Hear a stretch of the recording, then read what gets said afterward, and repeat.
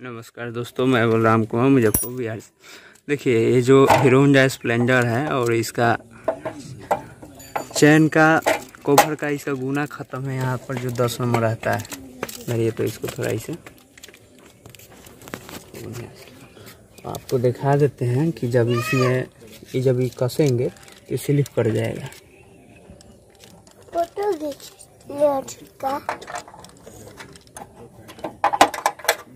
आपको कस के दिखा रहे हैं कि विश्वास हो जाएगा। इसको हम कसते जाएँगे, कसाएगा नहीं स्लिप मारते रहेगा। तो इसको क्या करना है कि हम मैंने बीच रखा हूँ तो इसको इसमें गुना काटेंगे। इसके लिए और आगू से खोल देते हैं।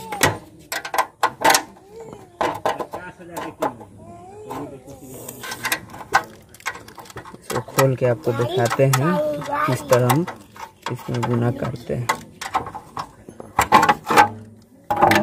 तो यहाँ पर मेरा बीट है। देखिए, ये किसी भी मार्केट में मिल जाता है रिंच के दुकान में। तो चलिए इसे हम काटते हैं गुना। तो इसको खूब ऐसे आराम से लगा देना है। ये ग्यारह नंबर के साइज़ में बनता है।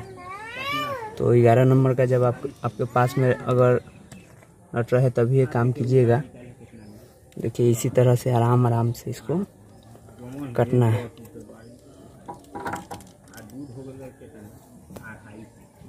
देखिए कटा रहा है।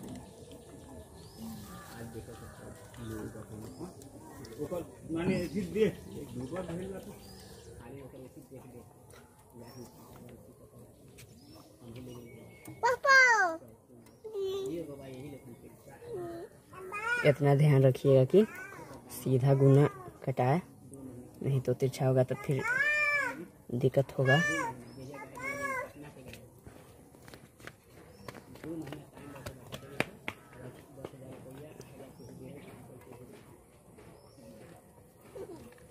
देखिए। तो एक बीट से तो हो गया। फिनिशिंग करने के लिए एक और बीट है। उसे फिनिशिंग करेंगे। देखिए, मेरा गुना कटा गया। पूरा फ्री हो गया। कसा रहा है। खुल रहा है। तो हिलाई है और फिनिशिंग करने के लिए दूसरा चाहिए। तो इसको हम खोल लेते हैं पहले। इसको ऐसे खोलना है, इसको निकाल लेना है। ये अलग मिलता है, ये अलग मिलता है। तो फिर हम फिनिशिंग करने के लिए यहाँ पर रखे हुए हैं।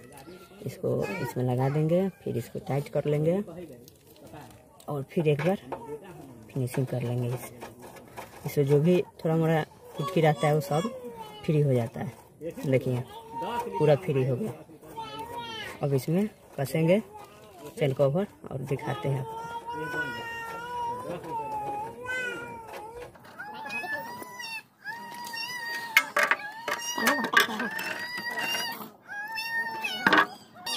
आपको देखिए हमारे पास में ग्यारह नंबर का साइज़ है। ये बहुत मोटा दिखता होगा। और एक दस नंबर का साइज़ है जो पतला। है तो इसी को लगाएँगे इसी हैं देखिए कितना आसान से लग गया।